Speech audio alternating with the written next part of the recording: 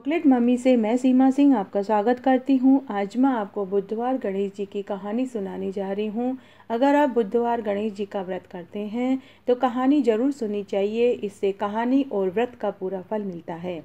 कहानी सुनने से पहले हमें बोलना चाहिए, सोना की चौकी, मोतियों का हार, गणेश जी मेरे जीव का आधार, ये पाँच बार बोलना है। उसके बाद बोलना है, गणेश जी के पाँच नाम, गणेश जी गणेश जी गणेश जी गणेश जी गणेश जी। उसके बाद हम कहानी सुनेंगे।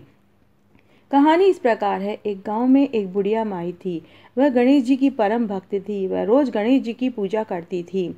एक बार की बात है कि वह जब मिट्टी के गणेश जी बनाती थी तो जब वह उन्हें नहलाती थी तो वह गल जाते थे तो वह बड़ी दुखी हो जाती थी। एक दिन उसने अपने मन की बात अपनी पड़ोसन को बताई कि, पड़ोसन, मैं रोज़ मिट्टी के गणेश जी बनाती हूँ, लेकिन जब मैं उन्हें नहलाती हूँ तो गल जाते हैं। क्या करूँ?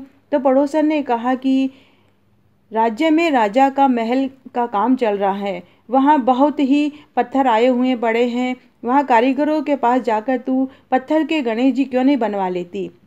उसी समय वह बुढ़िया राजा के महल के द्वार पर गई और वहाँ कारीगरों से बोली कि, भैया, मैं रोज़ मिट्टी के गणेश जी बनाती हूँ, लेकिन जब मैं उन्हें नहलाती हूँ तो वो गल जाते हैं। क्या तुम मेरे लिए पत्थर के गणेश जी बना दोगे? आपकी बड़ी कृपा होगी। लेकिन कारीगर बोले, माई जितनी देर में हम तुम्हारे गणेश जी बनाएँगे, उतनी देर में तो राजा जी की महल की ये दीवार पूरी हो जाएगी। बुढ़िया सुनकर दुखी हो गई और दुखी मन से वह वापस अपने घर आ गई।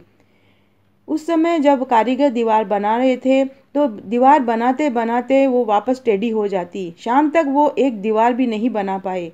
शाम को जब राजा आए, उन्होंने पूछा कि क्या हुआ? कोई काम ही नहीं हुआ है। तब कारीगरों ने बुढ़िया वाली बात राजा जी को बताई। तब राजा ने उस बुढ़िया को बुलवाया। बुढ़िया राजद्वार में आई तो राजा ने कहा कि, बुढ़िया माई, तुमने ऐसा कौन सा जादू टोना कर दिया है कि हमारी ये दीवार बनती ही नहीं है बनते बनते वापस टेढ़ी हो जाती है? अगर तुम ये दीवार हमारी सीधी बनवा दो तो मैं तुम्हें सोने के गणेश जी बनवा के दूँगा। उसी समय गणेश जी ने यह बात सुन ली और उसी समय गणेश जी की कृपा से दूसरे दिन जब कारीगरों ने दीवार बनाई तो दीवार बिल्कुल सीधी और सही बन गई। तब राजा की आज्ञा से सोने की एक प्रतिमा बुढ़िया को दे दी गई और गणेश जी को पाकर बुढ़िया बहुत प्रसन्न हुई। हे बिंदायक जी महाराज, जैसे आपने राजा के महल की दीवार सीधी करी, वैसी सबकी करना कहने वाले की, सुनने वाले की और हुकारा भरने वाले की। घटती हो तो पूरी हो पूरी हो तो परवान चढ़े, भूले बिसरे नाम तेरे भंडार में भरे। तो आज मैंने आपको बुधवार गणेश जी की ये पुरानी कथा सुनाई। अगर आपको ये पसंद आती है तो प्लीज़ मेरा वीडियो लाइक करें, चैनल सब्सक्राइब करें। चॉकलेट मामी से मैं सीमा सिंह। धन्यवाद।